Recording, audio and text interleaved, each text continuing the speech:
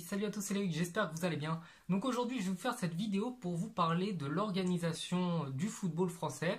C'est-à-dire qu'on connaît tous la Ligue 1, on connaît tous plus ou moins la Ligue 2, mais après, c'est vrai qu'il y a beaucoup de gens qui ne connaissent pas trop trop les divisions qu'il y a après la Ligue 1 et la Ligue 2. Donc j'ai décidé de vous en parler en vidéo, de vous expliquer un petit peu voilà les différences de niveau, parce que moi-même, ayant joué en, en très faible division, on va pas se le cacher, bah voilà, je sais un petit peu comment ça se passe. Donc tout en bas, il y a ce que l'on appelle le district. Donc c'est véritablement le football amateur par excellence, c'est-à-dire que ce sont des gens qui viennent se réunir chaque dimanche matin pour jouer bah, avec leurs potes, soit du village ou du quartier, enfin, qui veulent vraiment juste jouer au football, pas trop se prendre la tête tout en ayant une certaine structure, hein, en ayant un championnat avec des objectifs, une envie aussi de, de se donner à fond.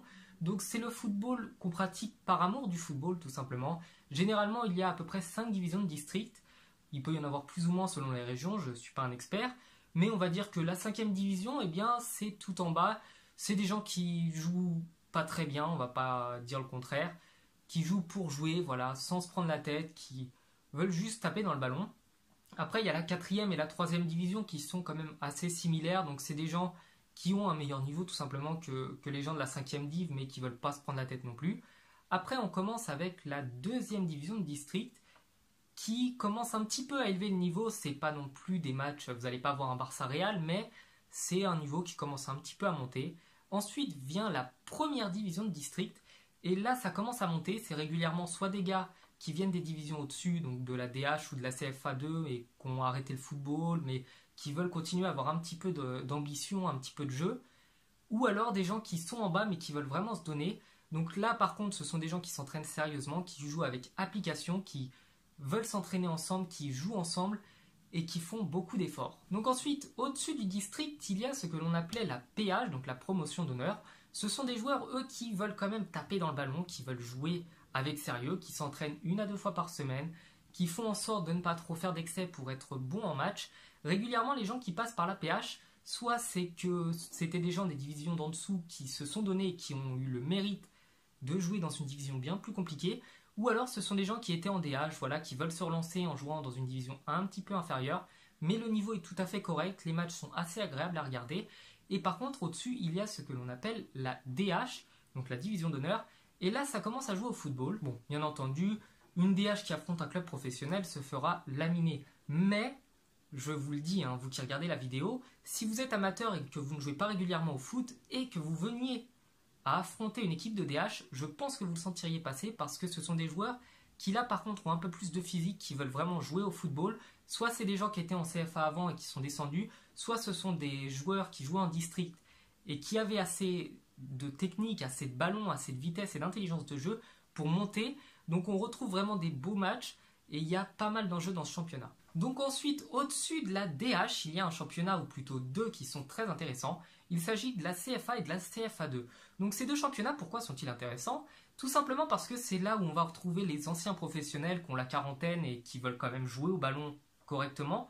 On va y retrouver également les équipes de jeunes, donc le PSG a son équipe en CFA, Marseille l'a également, Lyon également, enfin bref, toutes les équipes professionnelles ont une équipe réserve en CFA. C'est régulièrement là où on envoie les joueurs du groupe pro qui doivent se réadapter après une blessure pour retrouver du ballon. Donc on trouve des jeunes qui vont percer, on trouve des anciennes stars qui ont percé, et c'est vraiment un championnat intéressant à voir avec pas mal d'enjeux, et c'est souvent là qu'on voit les portes du professionnalisme. Au-dessus de la CFA2 et de la CFA, vient les portes du professionnalisme, comme je viens de vous le dire, puisqu'il s'agit de l'endroit où la moitié des clubs sont professionnels, c'est-à-dire que voilà, il y a une structure, il y a un trésorier qui est payé par le club, il y a un président de club qui est payé, il y a un entraîneur qui est payé, donc il y a vraiment une structure professionnelle. Ce sont des joueurs qui sont aux portes pour monter dans l'élite française ou qui viennent d'arriver en bas, qui essayent vraiment de monter leur niveau de jeu. Donc c'est là où on voit des très très beaux matchs, des grands joueurs sont, sortis de la nationale. Hein. N'Golo Kanté, il y a quelques années, il y était. Il y avait Steve Savidan. Enfin bref, si je vous donne l'exemple de tous les joueurs passés par la nationale qui ont percé, on ne va pas finir cette vidéo. Donc c'est un très beau championnat avec pas mal d'enjeux. Donc bien entendu, il y a une grosse différence avec les autres championnats professionnels. Donc voilà, on arrive au professionnalisme avec la Ligue 2, donc la deuxième division française. C'est un championnat assez relevé, plus faible, on va pas se cacher que la Ligue 1, mais avec des joueurs qui viennent pour la plupart de la Ligue 1 ou qui sont en train de monter et d'exploser complètement, comme je viens de vous parler d'Engolo Kanté. Et donc c'est des joueurs qui veulent prouver dans tous les cas. Soit ils veulent prouver qu'ils ont le niveau pour la Ligue 1, soit ils veulent prouver qu'ils méritent d'être en Ligue 2 en se donnant encore plus à fond que ce qu'ils pouvaient faire en national. Et donc ce championnat est vraiment différent, on va pas se le cacher de la Ligue 1.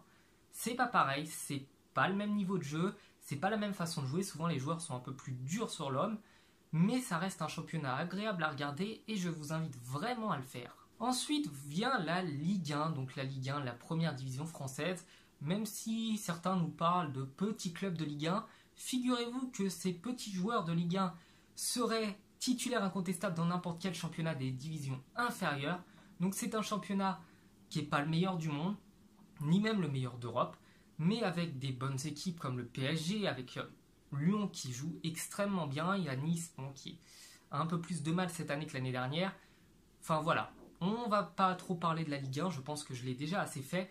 Donc c'est un des championnats les plus importants de l'Europe, un des meilleurs championnats, avec des clubs qui jouent la Ligue des Champions régulièrement, avec les meilleurs joueurs de la planète, et c'est véritablement une chance pour la France d'avoir des clubs aussi forts. Et après, au-dessus de la Ligue 1, il y a la Ligue des Champions. Donc je le mets comme un championnat à part parce que c'est tout simplement des équipes stratosphériques, ce sont les meilleurs joueurs de la planète qui viennent du meilleur championnat, des meilleurs clubs du monde, qui viennent des meilleurs pays de football du monde. Donc c'est l'élite, la crème de la crème.